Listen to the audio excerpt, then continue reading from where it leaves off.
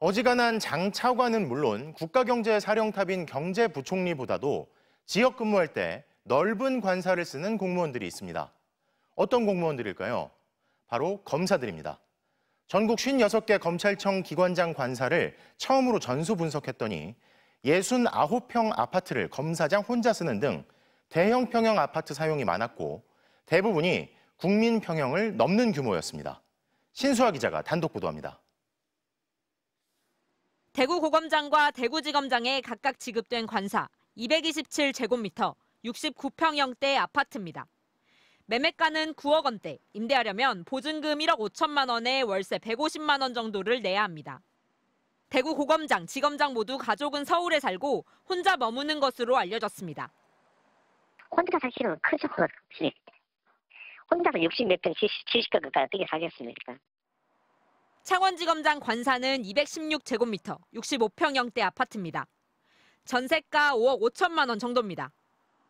방이 다섯 개 있기 때문에 두 가구 분리될 수 있는 구조거든요.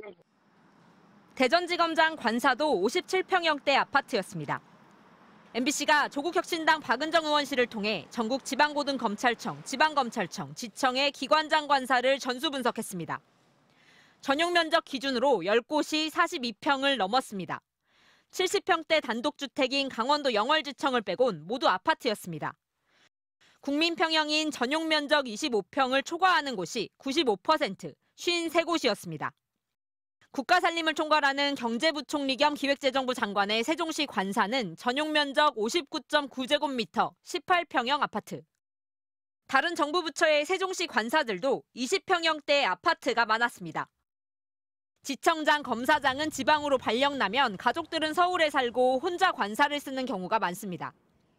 국민 눈높이에 맞지 않고 거기 모두 혼자 가서 어, 그 거주하고 있거든요. 검찰청 내부에는 관사를 운영하는 규정이 없습니다. 지역에 따라 주택 가격은 차이가 있을 수 있습니다.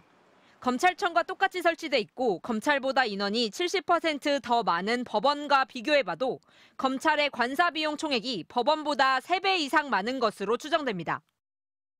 국민권익위원회는 정부 전 부처 관사에 대해 실태 조사에 나섰지만 뚜렷한 기준조차 없다 보니 2년 넘게 결론을 내리지 못했습니다. MBC 뉴스 신수아입니다.